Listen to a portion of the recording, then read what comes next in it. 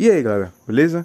Eu sou o Zi e hoje eu vou ensinar a criar e usar Lua Script aqui na Etsmask, beleza? É, eu fiz uma publicação aí na aba comunidade perguntando qual era a linguagem que você mais usava é, quando ia criar um jogo na Etsmask e muita gente falou ali que Lua não gostava porque o editor era diferente, não ficava vermelho quando estava alguma coisa errada, tinha que carregar não sei o que de classes. Ninguém está entendendo, tem muita gente que não está entendendo assim algumas coisas. Então, esse vídeo aqui vai ser para essa galera aí que não está entendendo isso, né? Tá com dúvida aí, não sabe como fazer isso. E nesse vídeo eu vou explicar tudo, tá? A gente vai criar aqui o script, eu vou ensinar a importar ele para o seu projeto, adicionar ele no seu num objeto do seu jogo, é, editar, criar alguma coisa ali para ser identificado no console, tá? Tudo isso, beleza? Tudo isso nesse vídeo. Então é isso aí. Espero que vocês é, entendam aí e decidam aí qual linguagem você vai começar a usar na Magic, né? Vai dar sim pra gente estar tá criando jogos em Lua também, tá? Então, vamos lá. Eu criei aqui, primeiramente, né? A gente vai ter que baixar né, o, o script, né? Lua Script, que tá na lojinha aqui da Magic, né? Porque é oficial e ao mesmo tempo não é, né? Porque então, primeiramente, né, você vai vir aqui na Marketplace, né, e vai baixar, né? É zero moedas mesmo, porque vocês podem vir aqui, ó, e podem vir aqui em novo, tá vendo, ó? Pode vir aqui em novo. Então vocês podem vir aqui criar um projeto do zero, já com Lua implementado, ou é, pega da Marketplace e coloca no seu jogo, tá? E vou fazer dessa forma, tá? Então vou abrir aqui. E tá aqui, ó, Lua. Você clica em cima, né? Aí vai esperar aí. Aí vem aqui no zero e vai escolher o mapa, tá? Vou escolher aqui, ó, lua teste, configuração, ou confirmar. Aí tá aí, baixando lua. Na hora que você vai entrar, é, você tem que esperar carregar as classes, né? Porque ainda não tem, não tem como aqui na Smash, mas na hora que a gente coloca o lua no, no, no projeto, né, ele vai ser importado ali em tempo real. Então, assim que a gente entrar no projeto, sempre, ou quando estiver editando ali um script em Java, para compilar o Java, sempre vai estar tá carregando as classes, tá? Então, você vai ter que esperar ali, não fazer nada e esperar carregar as classes, tá? Então, ó, assim que você clicar no script, ou no mundo, lá em cima vai aparecer, tá vendo, ó? Loading, loading classes, tá? Então, isso aqui pode demorar, tá? Então, vou desligar o Wi-Fi logo aqui, para não ficar aparecendo anúncio, tá? Então, eu recomendo você não mexer em nada para não demorar mais ainda, tá? Você deixa aí e vai esperar, tá? Na, aí, ó, já foi. Foi mais rápido, né? Na primeira vez que eu fiz, demorou 10 minutos, mas agora foi bem rápido, tá? Então vocês viram, né? Lá em cima tava lá e deu sucesso, né? Então deixa eu só excluir esses bichinhos aqui. Cadê? Dá o zoom aqui na câmera. Beleza, né? Tá aí.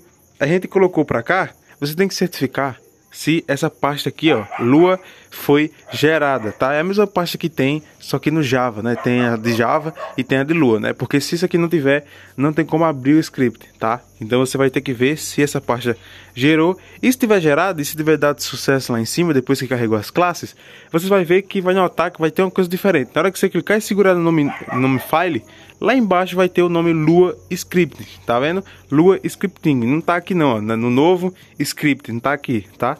Você tem que clicar e segurar, aí vai aparecer lá embaixo, Lua Script. Você vai clicar e vai aparecer, ó, New Lua Script, né? Novo script Lua. É só a gente dar um clique. Aí aqui simples, né? Escolhe o nome, aí pronto. Aí, né, não apareceu, claro, é só clicar no nome file e caso ela não aparecer aqui, mesmo você clicando no nome files, ó, é só você descer e ir na pasta lá, ó, Lua Runtime, sei lá como é que chama isso aqui. Você clica aqui e vai aparecer, tá? Caso não apareça aqui no file, tá? Só você descer e apertar. Tá aqui, ó. Lua Teste, tá vendo? Lua Teste Script.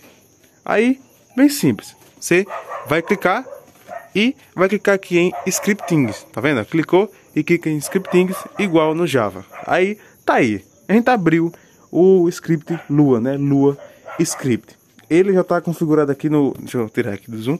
Ó, ele está configurado aí no console, né? Para na hora que a gente dá um play, tem lá dizendo, ó, hello, né? E tal.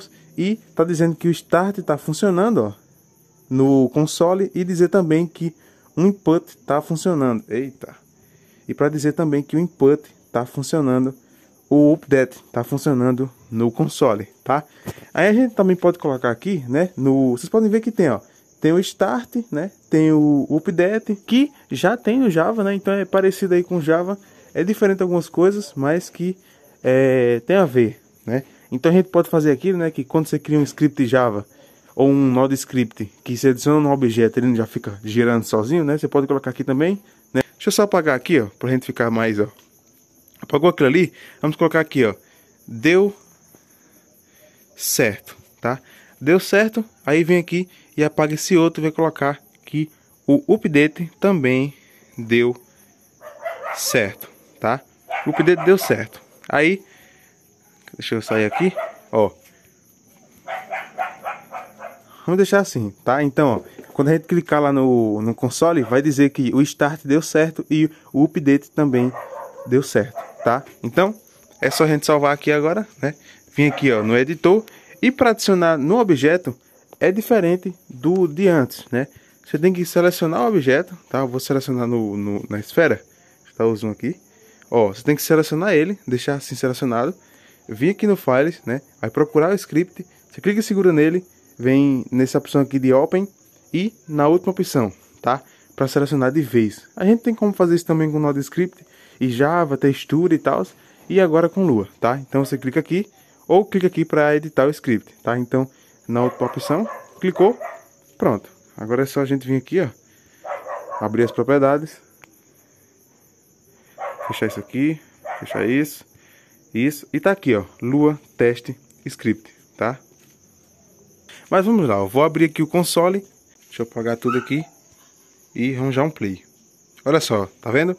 Mensagem, o update deu certo e o start deu certo, tá? Não tava aparecendo o nome em inglês ainda, como se não tivesse mudado, né? Porque não tinha carregado ali o, o script na hora que eu fiz. Eu dei um espaço ali para carregar, tá? Então, vocês podem ver que tá dando certo, tá vendo? A mensagem ali, ó, deu certo. A gente pode também para reconhecer aquele hello que tem, tá?